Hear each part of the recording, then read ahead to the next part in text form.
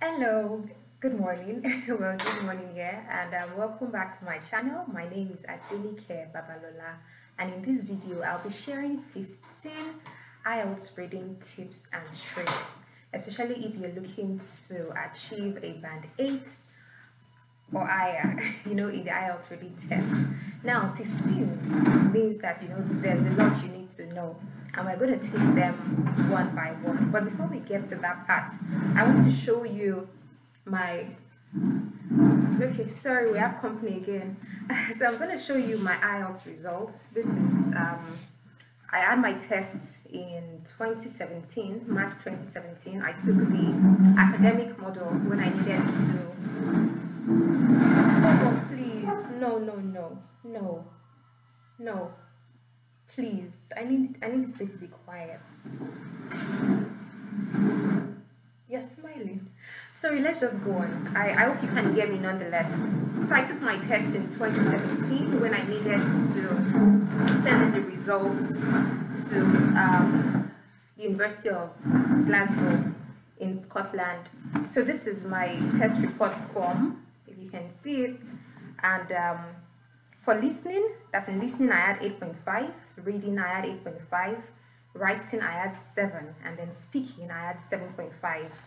Well, I barely had anybody to train me for this because I was still, um, you know, um, having my national service corps at the time, and of course I didn't have so much money to pay for maybe a tutor. I didn't. I think I need just one center, and to me it seemed quite expensive at the time. So I trained with a few resources that I found online in about three weeks, and this was my results. I was surprised when I saw listening and reading 8.5 because it meant that I probably missed just one question. Um, it means I had 30, uh, was it 38 now? Yeah, 38 or 39 in each of them. So um, you see it's possible to have this kind of result and even better. I have people who have taken the academic model and also at 7.5 some have even had eight. Well, that's eight is common with general training, but there are people who have had more. Even speaking, a lot of people have seven, um, seven, seven point five, and then eight. So it's possible for you to have a very good result in your IELTS test. But today we're fo focusing on the IELTS reading, and I'm going to take you through these 15 tips to help you. Now, whether you're taking the academic model or the general training model, you're going to spend 60 minutes answering 40 questions. And as I said in previous videos, you can, um, you know, take some time to go through my IELTS reading video. Now, um, you know, if you went through that, you realize I said that for the academic model, you're going to have three passages in three sections. But if it's general training, you're going to have five passages in the same three sections. So at the end of the day, you're doing three sections, a total of 40 questions.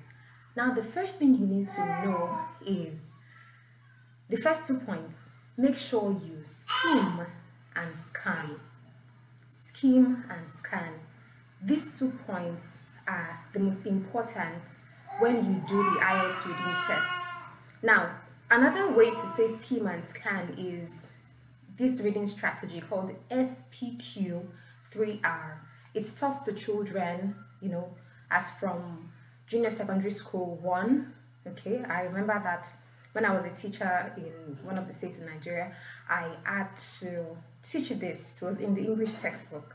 So the first thing, S, means survey. It means when you see a passage, just glance through. It's like surveying your plot of land. You just look through. You're not looking for anything in specific.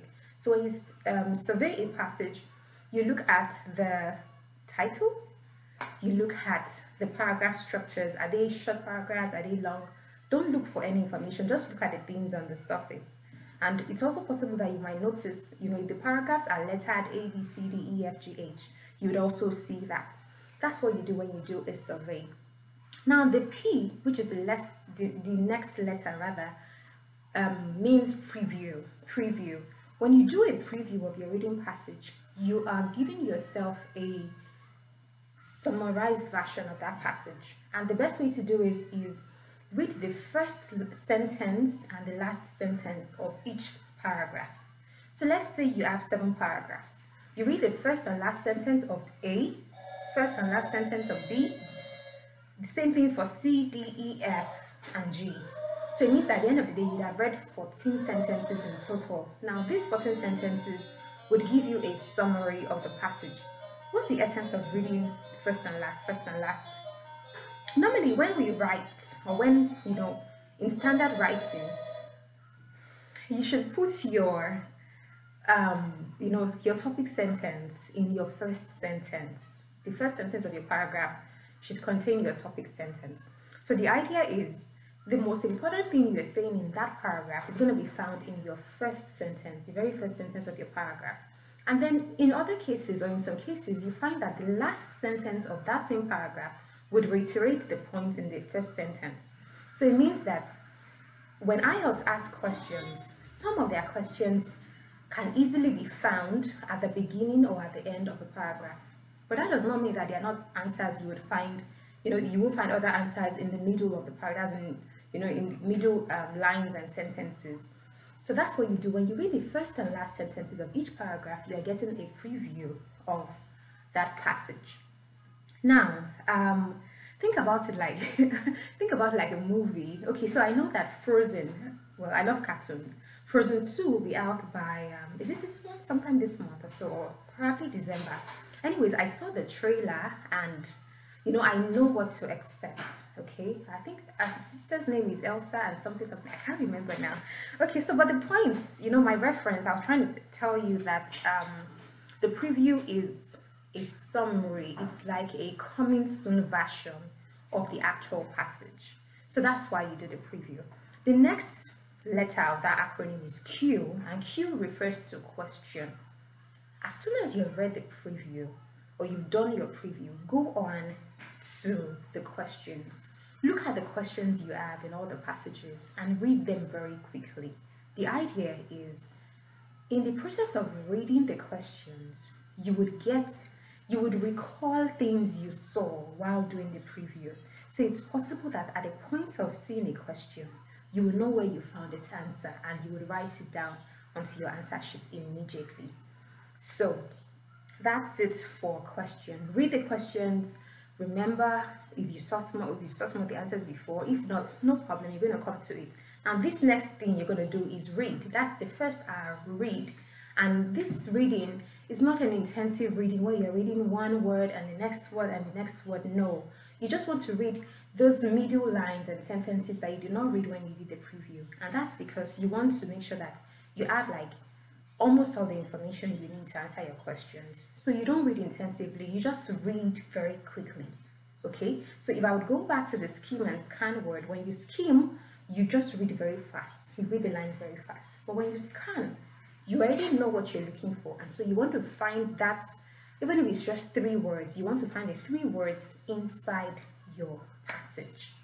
Okay, now the second R is recall and recall means to supply your answers to your questions supply the answers to the questions. So once you have read your passage that's the middle lines just begin to supply your answers. And if you were paying attention you realize that you had found some answers before and then in the process of doing the read you've actually found other answers. How do you save the answers you you know you find when you're not ready to supply the answers use your pencil to underline once you see what that looks like, the answer to your question, underline it. And if you're doing it on the computer, you highlight. Well, that's the way it works in computer based actually, but we'll talk about that in another video. For now, just make sure that you keep underlining words in your passage that would, you know, that are around your answer or that would lead you back to your answer. And the final R is review. When you have supplied the answers to your question, make sure you create some time, even if it's five minutes, to check through all the answers to be sure that they are all correct. So that, those are the first two points, which I extended into the SPQ 3R. If you don't want to take that long method, what I use and you know what I eventually teach people is just do Q and R, question, question and recall, not read, question and recall. So the idea is you get the passage, go straight to the questions, read all of the questions, and begin to pick them one by one and locate them in the, in the passage. So it's a case of take the question, go find it in the passage, and then pick the answer. It's that simple. And it helps me to save time too. So when you've mastered the long process, you can actually now switch over to the short one because it will save you a lot of time. So those are the first two points. Now the third one is understand your question types. Now you know that in the reading question you have 14 question types. You know, um, matching uh, matching sentence endings, um, uh, matching headings, which is the is the is the most um, difficult in code for some people. Then you have all the other completions, sentence completion, note completion, form completion, and the rest of them. So um, the idea is, whatever the case, make sure you understand the question type you're dealing with. It will help you to know the strategies to use for that particular question. In future videos, we're actually going to take these question types one by one. So to make it a lot easier for you to figure them out, you know. So number four is expect paraphrase. When you read your passage, don't expect that the question will be, you know, would bear the same words. You would find that the question somehow paraphrases what you have in the passage. And this happens a lot with true false not given and even multiple choice. The way the sentence writes it, you know, the way the sentence um, is written in the passage is not necessarily the exact way you will find it in the question. So don't be lost if you see necessary somewhere and in the other place you saw it is needed or there is a need to. You're saying the same thing, okay? So um, that's it for number four.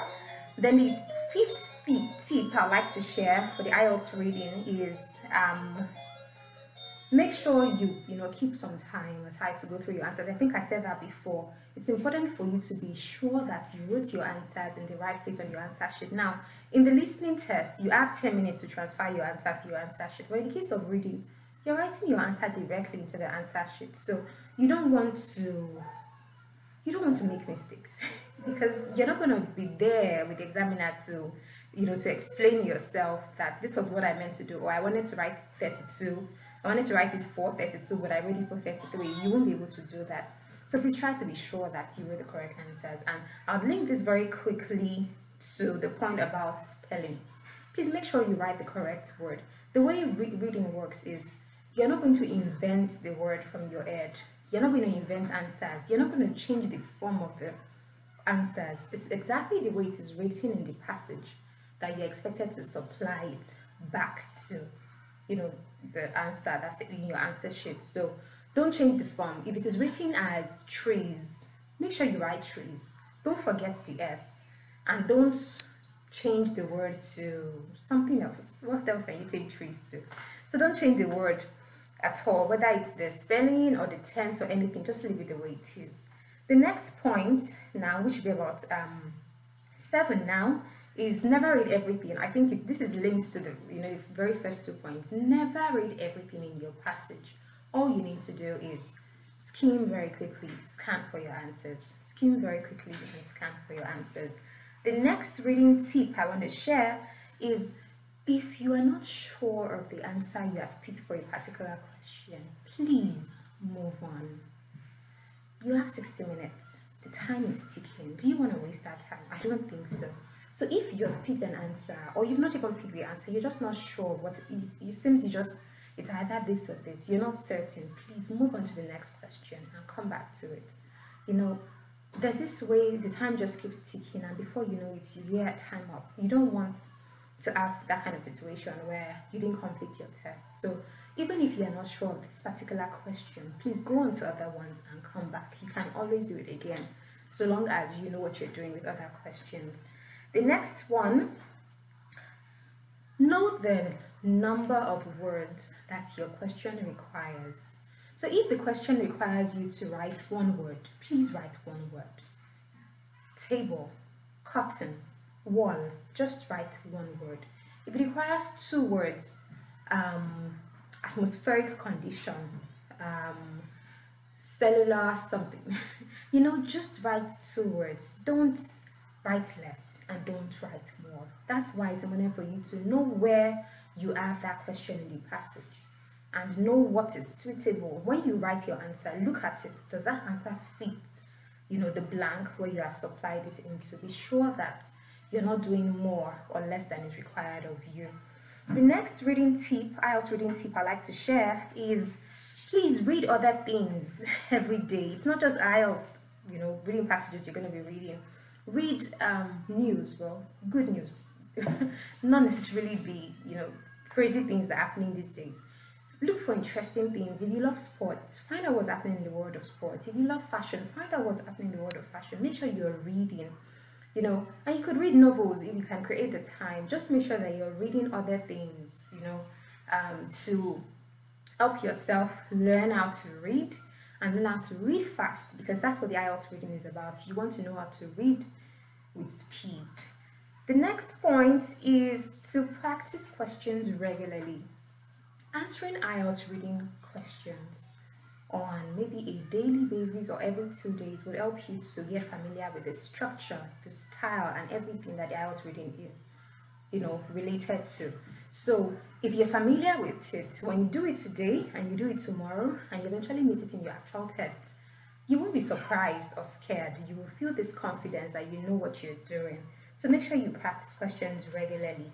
Another tip I always share, share with um, test takers is when practicing, turn on your timer. You have your phone, go to the clock and pick timer or use the stopwatch or something. Set, you know, it's it sets um, like 60 minutes down. Let it count down so that when you've exhausted 15 minutes on one passage, you are aware. When you've exhausted 25 minutes on a passage, you are aware.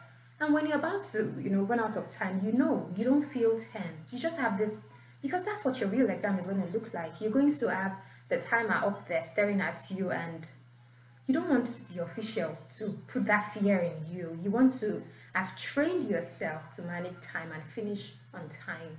So please try to do it when you do your own practice.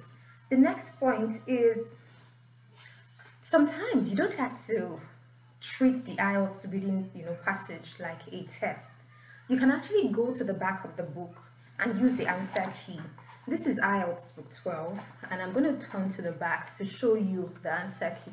Okay, so this is the back here and then you have you have um, you know your answer key what you can do is take the answers here and then go and open you know to the particular passage that has that question and then pick the answer for number one take it to question one and then find out why that answer you know is the correct one the idea is to use the answers and the answer key to actually answer the passage nobody's going to penalize you it's not expo it's not a crime it's just you learning so sorry. Why, what's the problem? What is it? Sorry, I'll attend to you soon, please. Sorry for that. Let's just wrap up very quickly. So um, use the answer key to answer the passage and it would work for you.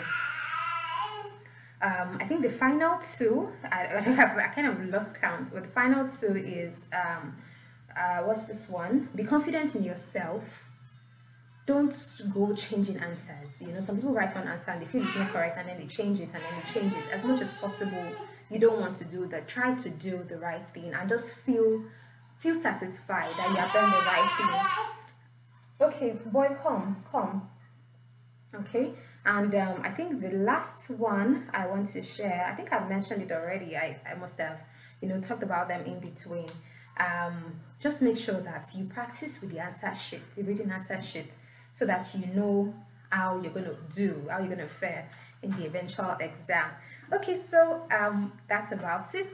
I would like you to subscribe if you are enjoying my videos. What's the point of watching and just leaving?